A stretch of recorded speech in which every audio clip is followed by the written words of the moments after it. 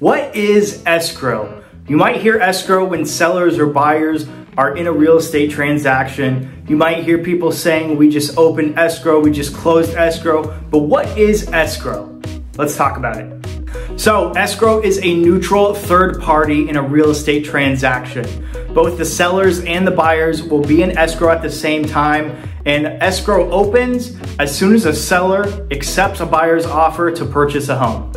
Escrow is usually about 30 days long, but it can take longer or shorter depending on some time frames or some contingencies.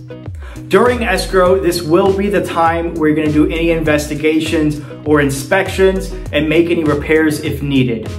This will also be the time where you're wiring your earnest money deposit where the lender is working with escrow and getting all the loan documents to finalize their loan.